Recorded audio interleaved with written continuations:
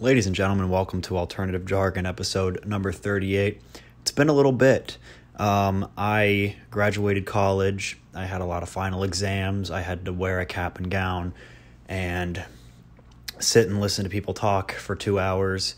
And now I'm looking for a job. I am officially a big boy now. Got to start doing big boy stuff. Got to get health insurance. Got to do a lot of really, really thrilling things that is what has been on the horizon, and the horizon is quickly approaching. Nonetheless, I'd like to keep this up, so let's just get right into it. Hunter Biden is on trial. Not sure what for, and I don't care. Here's my take. Um, I think, like Charlie Sheen famously said in his 2011 interview, um, you get a seven gram rock and you give it to Mr. Biden, and you go, if it doesn't fit, we must acquit. Um, get Mr. Biden to try to snort a seven gram uh, rock of crack cocaine in the courtroom right in front of the jury and then let them decide. This is, of course, a joke. He's being, um, yeah, not being sued. He is in court on trial right now because of apparently illegal weapons I guess in 2018 he bought a gun illegally, something like that, which is a lot um, more boring of a story than I thought would come out of this guy. We all know Hunter is like the coolest guy in the world. Hunter knows how to party. Hunter knows how to get down. Hunter knows how to get around town. He is the guy you want to go to if you want to have a good time, um, depending on your definition. So the fact that this is just a gun thing, I mean, really, it'd be more fun of a gun thing if this was maybe about how Hunter killed somebody. Um, then I would be all for the guns. In, you know, a methamphetamine induced rage session, he was seeing red and decided um, to slaughter every escort that was saved on his phone. Something fun like that. It would have been a lot cooler of a thing, but um, the guy apparently didn't even do anything cool with the gun. He he probably took some selfies with it and saved them on his computer, something like that. By the way, the president of the United States' son um, needs a better phone with a better camera. I'm not one of those freaks who has uh, intentionally dug up all the naked pictures of Hunter Biden in the shower with, you know, foreign strippers and things like that in order to um, show his need for incrimination. Um, I don't care how much I don't like a president or their son. I'm not going to willingly go out there and look for pictures of a guy's dong on the internet. That's just not me. Um, but these pictures, I've seen a few of them, not the very explicit ones, but you know, the ones where he's smoking crack in the car and flaunting the weapon. Those ones. The quality is really bad. Um, I don't know if he's on Google Pixel or Motorola or whatever it is, but I think I've taken higher quality pictures with my GTA character. So this guy needs a better phone, first and foremost. Um, it does sort of add to the mystique of the images, though. You know, it adds to the dark web esque nature of them, sort of makes them a little bit cooler adds a little bit of aura to them. That word's huge now. Um, which, you know, usually the um, the reinvention of words through social media I'm not a fan of, but the whole aura trend I'm kind of a fan of because it is funny. Um, you know, before I go out on the town, I have to take a look in the mirror and make sure my aura is on point, or I'll just call the night off. So, um, I'm totally on board with that trend. I can't even believe I'm saying that, but I am on board with the aura trend. I think it's great. Um, so, yeah, that's what's going on with Hunter. We'll see what happens. Probably nothing. Um, he's going to probably still be rocking in the free world when this is all said and done. And, you know, it is what it is. So, the the next thing that's really trending right now and has been for a little while, I think I talked about it previously, but it's even worse now, and that is the TikTok shop. The TikTok shop is like 20% of everything that I see um, on TikTok now. I am really glad that they put the giant orange square in the bottom left hand of the videos so that as soon as I see that, I can scroll past. Um, my thumb, uh, they talk about fast twitch muscles in terms of, you know, NFL players, NBA players, world class athletes um, who are the most explosive at their sport are known to have really fast twitch muscles. I am very quickly developing the fastest twitch muscle on planet Earth in my right thumb because the second I see that orange box, I'm gone. It's over. I'm gone. It's been done. I don't care if the video has a nice hook.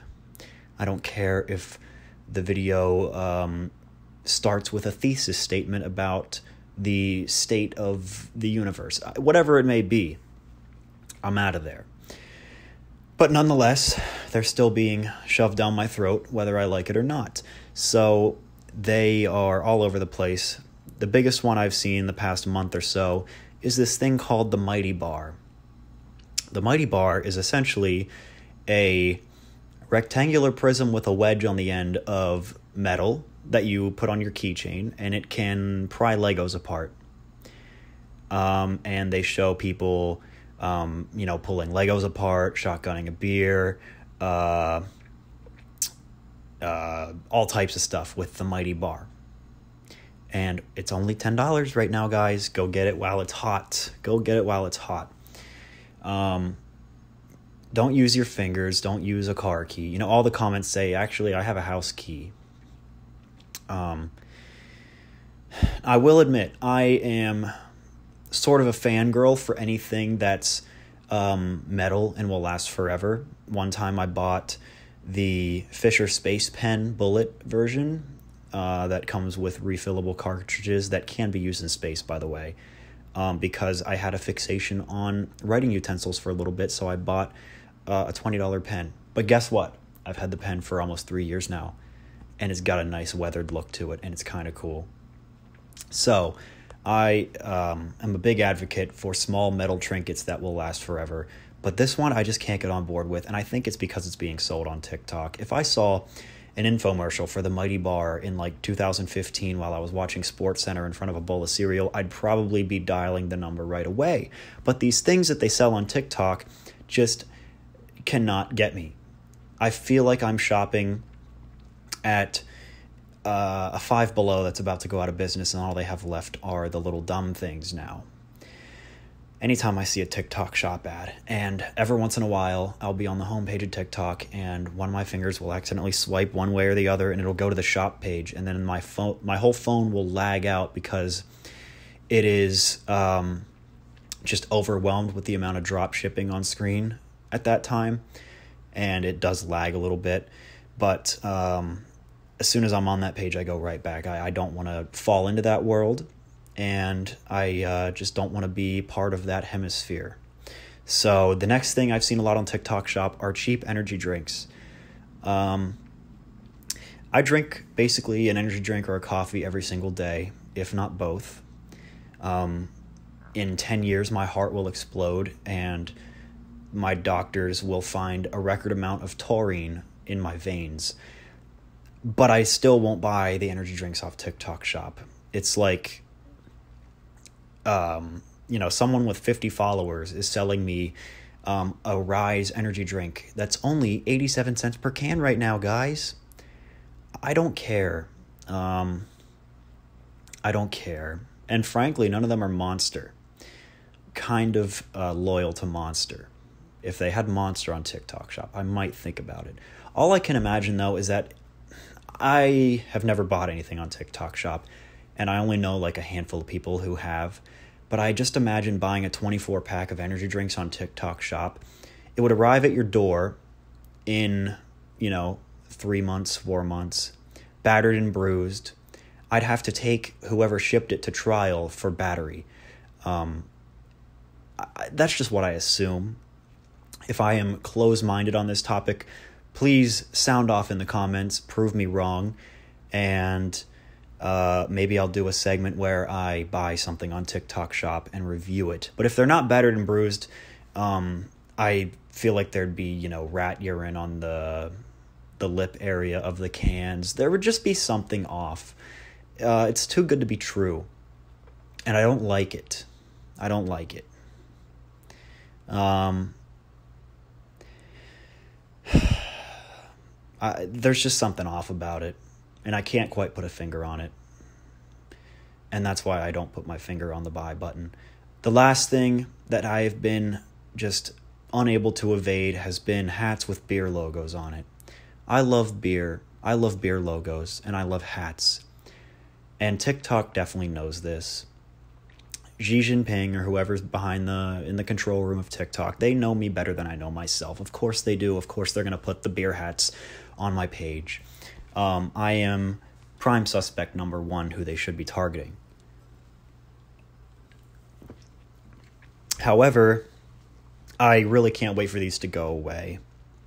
Um, these would have been cool maybe four years ago, but now a corduroy snapback with the Coors Light logo from 1960 on it is worn by the worst people you know in your life.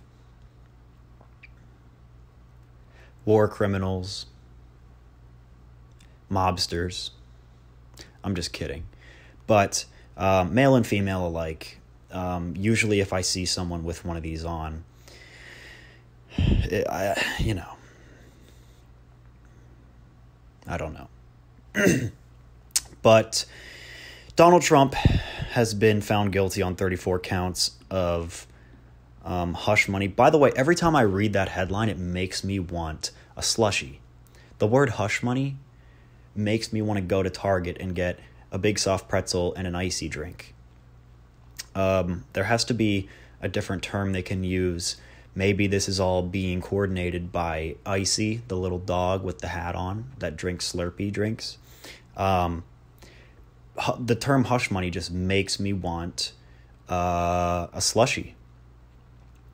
I wanted to get that out of the way first and foremost. Also, does this make me I don't know if this makes, I don't know what this quantifies me as, but whenever I'm watching a movie or a TV show and someone with a particular accent starts talking, it makes me hungry for whatever cuisine is from their country. Is that politically incorrect to say? Every time I watch The Dark Knight, which I have seen countless times, great movie, um, and we get to the scenes with Mr. Lau in them. Sorry, I've got the hiccups. We get to the scenes with Mr. Lau in them and he has um, a very strong, you know, Mandarin um, accent in his voice. It makes me want to go get lo mein. When I watch The Sopranos, I want to go get a cappuccino and a large cheese pizza.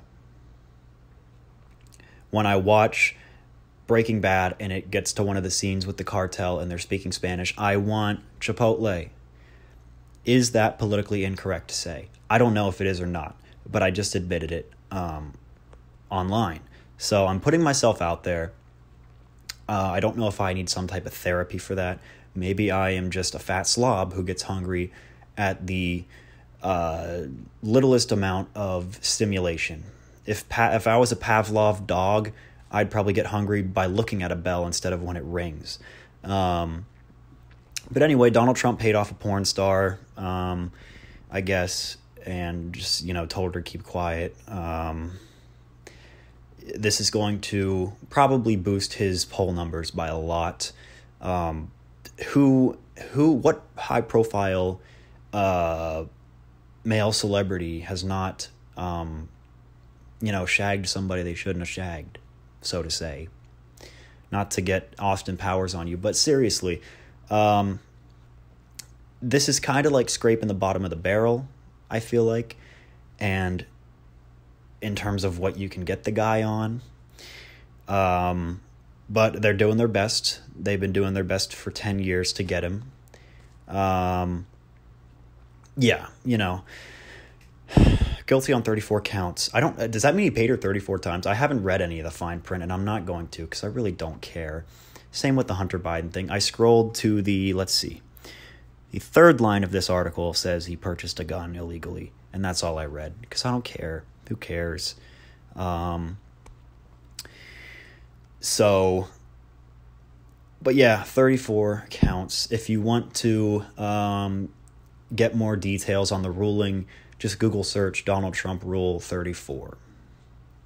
Um, there's a lot of good details under that section online from what I've heard. Um, and don't do that. Actually, don't do that. While I was writing up my ideas for this episode, I was actually uh, sent a meme on Instagram from my friend Brandon um, with this exact joke in it. So they beat me to the punch. I know the Trump stuff is sort of a week old at this point, but I've been uh, trying to get the wheels turning on this episode for about that amount of time. That's why I'm late to it, and that's why the joke I already had planned is no longer fresh. So, in this industry, you've really got to be the first one to the punch. So, the first one to the slushy, first one to the hush money. Um, you know, the thing about this is is that our country is going to be the same no matter who gets elected. And that is the title of this episode. And look, you need a, a title that's going to grab people's attention. And during uh, a leap year, when it's election year in America, uh, there's always um, more talk than ever, more ads than ever, more everything than ever about politics and yada yada yada. So I needed one to get the the attention of the viewer, the listener. But I'm going to elaborate on the point that uh, everything's going to be the same no matter who wins, no matter who loses. Nothing's going to change. It's all okay. Don't go vote. Elections don't matter. Um, look, the only thing I care about in this election is inflation. I want more money, and you want more money. We all want more money, and we all want our groceries to not cost, um, you know, fifty dollars for a stick of jerky and a twelve pack of Red Bull. That would be amazing, wouldn't it? That is my only concern in this election is inflation. Um, but I have a theory, uh, and by the way, um, if Biden gets elected, stuff's going to be expensive if Trump gets elected, stuff's probably going to be expensive. And if RFK gets elected, there's going to be a no topless car rule in Dallas Fort Worth area. Everything's basically going to be the same as it was before. Um, but anyway, let's get to my theory. And my theory is that if everyone in this country had no idea who was the president and they closed their eyes every four years when it was time to elect someone new and they had no clue who the president was, they wouldn't care who the president was. And we are 250 years into this American experiment at this point. Whether you like this country or not, I do like this country. I like living here, it's fun. Um, it doesn't really do much all right, there might be an executive order here and there that does change things, but I think if people had no idea who was pulling strings, no one would be able to tell.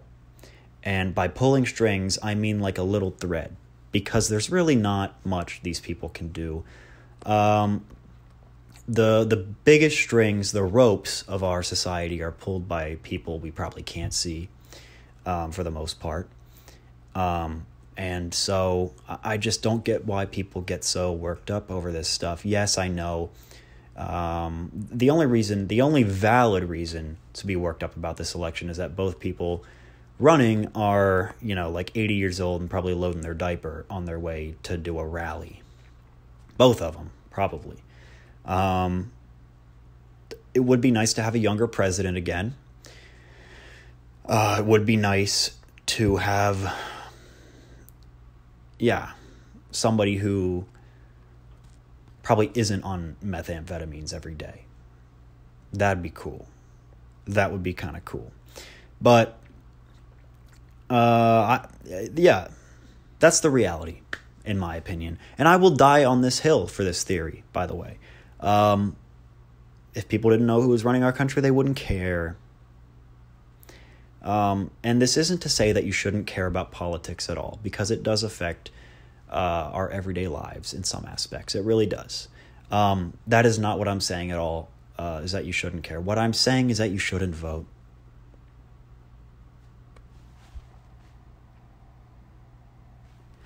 I'm kidding. I'm kidding.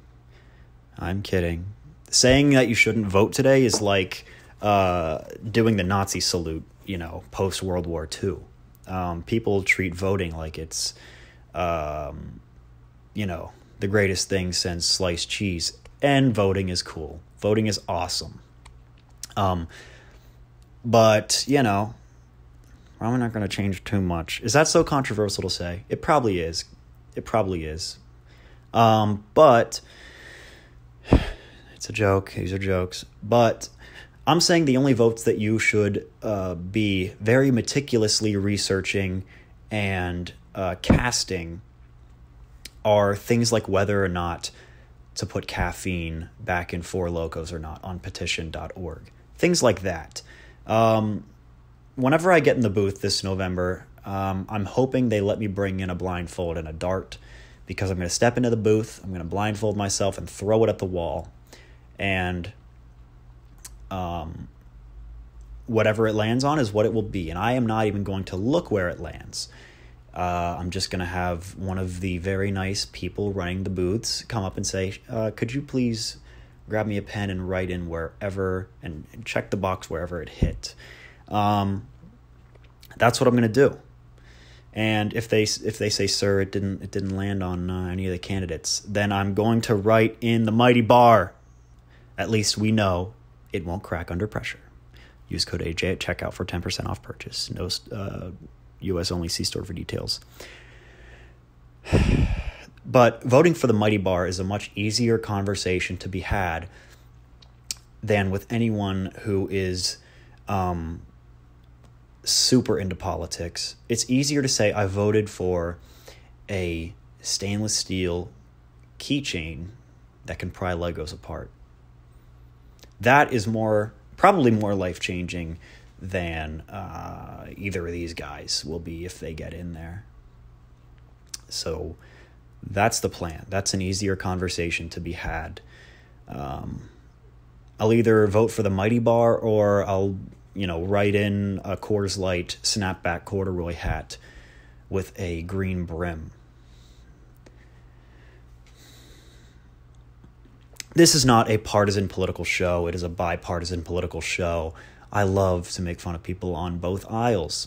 Um, everybody sucks, and that's okay on both sides.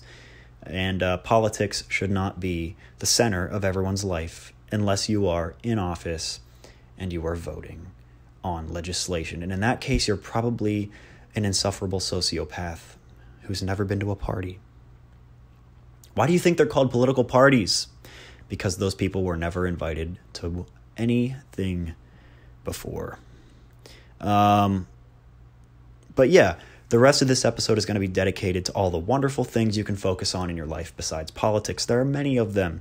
Um, and once again, um, for the people that don't understand that I am joking, uh, don't completely ignore politics.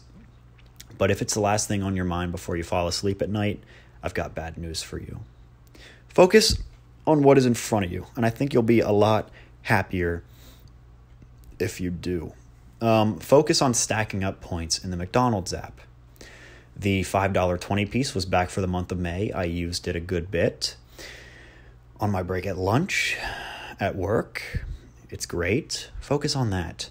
Uh, just actually reaped what I sowed the other day, harvested those points, and got a free large coffee. That is what you really should be zeroing in on. That's the focal point of the day in, day out. That's why you wake up. That's why you snooze the alarm. That's why you go to work. Um, focus on reading a book, maybe. Um, right now, I'm on my fifth book of the year.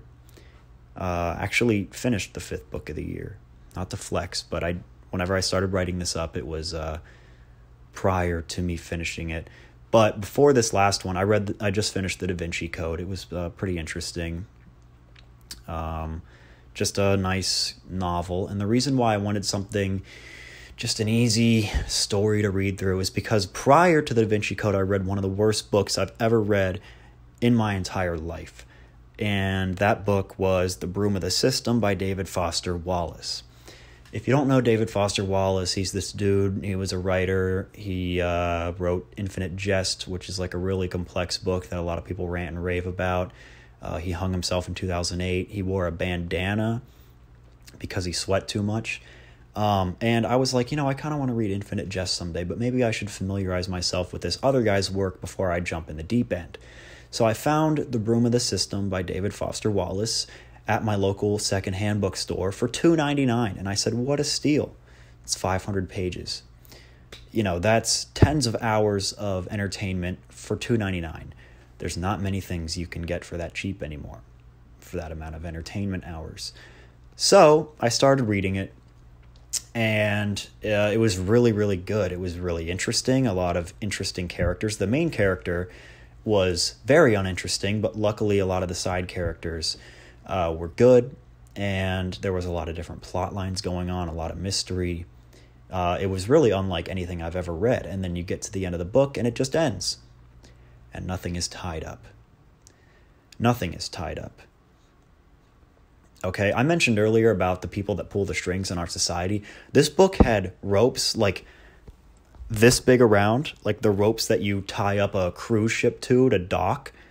This book had ropes that were like the size of a boa constrictor, um, all through the book that it was pulling and pushing and moving around. And you go, how is he going to tie the knot at the end with all this? It's getting crazy.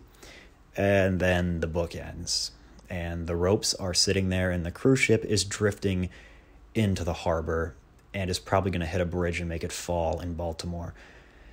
Nothing was tied up. Nothing was ever tied up. Um, David Foster Wallace, evidently not a Boy Scout, because he did not know a single knot to do with the end of this thing. It just ended. Um, I am a fan of endings sometimes where uh, they sort of present the knot in front of you, and then you, as the reader, you as the audience, uh, when you put the book down and close it, you get to pull the strings yourself. Those are kind of fun. It puts respect into the audience. It respects the intelligence and the intellect of the reader or the audience to go, hey, I threw you the alley oop, now you dunk it. Those are awesome. Um, if we're going to follow that analogy, though, David Foster Wallace took the basketball, stabbed a knife through it, and threw it in the ocean with this book. He did not throw you a single pass. Um, he dribbled, he did crossovers, he did between the legs, spin moves around screens, pick and rolls, all book. And then we get to the end, and he puts a knife in the ball and throws it away. He didn't shoot the ball. He didn't go for a layup. He didn't dunk. He didn't you know, he didn't do anything. Um, so that was a very, very disappointing ending. I'm not going to spoil the whole book. Um, what is there to spoil, though, if there's really no resolution? Um, maybe I am just too low IQ to figure this out, but I did read the reviews on Goodreads, and a lot of people felt the same way. Um, by the way, that was after I formulated my own opinion. I never check reviews on books or movies until I've seen them myself because I don't want to go into um, any type of content with a a bias, with a prejudice, because I want to think about what I think of it first and then see what other people say after. Otherwise, that kind of ruins the experience, in my opinion.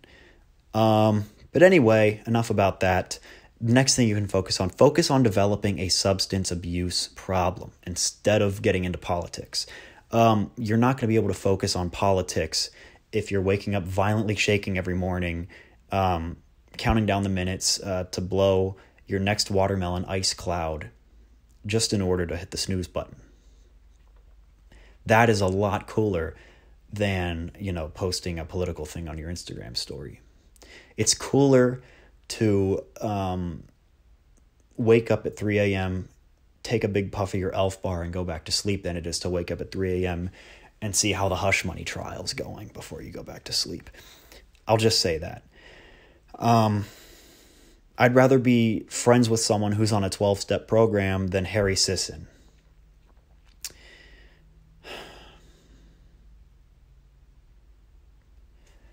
Focus on the New York Times games. Um, I just became a New York Times premium member for $4 a month uh, so that I have access to the crossword. You get free access to all the other games, but I said I want to try my hand at the big boy the Top Gun, the big crossword. I've only solved one so far in about the week and a half since I've had it. They're really tough, but I do love the challenge. Um, connections is fun. I'm actually on a six day Wordle streak now, too. I know that Wordle is not as popular as it once was, but it has re entered my life and it gives me something to do while I'm on the toilet besides read Hush Money trial headlines on Twitter. And for that, I am eternally grateful. Um, last thing, just focus on your life. Get your money up, get your funny up, get both up. Um, get your penis up with BlueChew, the sponsor of this week's episode. I'm just kidding, I wish.